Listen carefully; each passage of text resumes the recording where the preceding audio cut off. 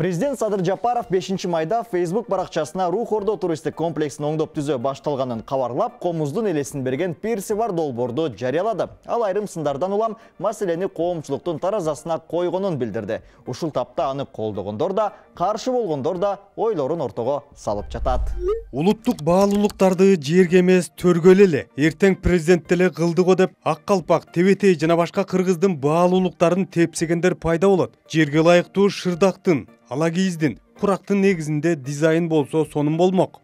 Комуз үлгүсүндө адаттан тыш креативдүү идея менен пирс салынып жатса комузду тебелебе деген маңкурт ойлорго ашепке ырымчылдыкка таң калам.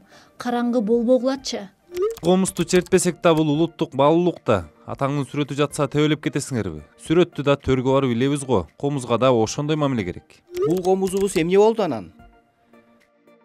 Президент көпчүлүктүн каалоосун эске аларын ага жараша долбоорду өзгөртө коюу 5 секунд экенин кошумчалаган айрымдар президентти баардык маанилүү маселелерде ушинтип элдин оюн сурап турууга чакырууда. Чолпон атадагы рухордо туристтик комплекси былтыр мамлекеттин карамагына өткөн.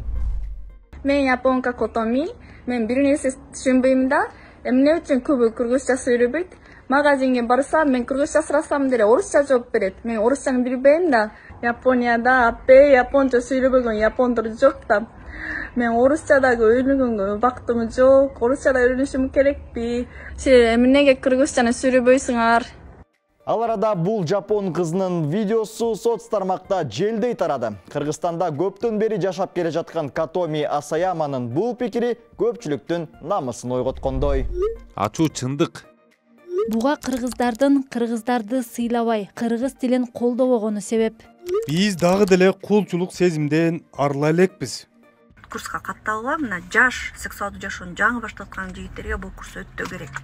Бул арада аял эркек мамилеси тууралуу контент алып барган блогер айнура сагынбаеванын пикирлери боюнча кыргызстандын муфтияты билдирүү жасады. Анда блогердин диний багыттагы айткан пикирлери ислам динин ачык бурмалоого жатат деп айтылган соңку видеолорунун биринде сагынбаева нике жыныстык тарбия тууралуу сөз кылган муфтияттын да эскертүү бергенге акысы бар. Ар бир нерсенин чеги орду болот чектен ашкан болбойт спид жана башка оорулар жукпасын деп айткандыр. Коргонуу жөнүндө мектептерде айтышпаса анан ал айтып үйрөтөт да. Муфтият шылуундарга паракорлорго качан эскертүү берет болду экен? Айнура сагынбаеванын ою коомго мынчалык таасир берип жатканына таң калганын жашырган жок ал муфтияттын билдирүүсүнөн улам постторун өчүрөрүн бирок муну менен чындык жабылып калбастыгын белгилеген. А сиздин бул окуяларга пикир кандай? Комментарий жазыңыз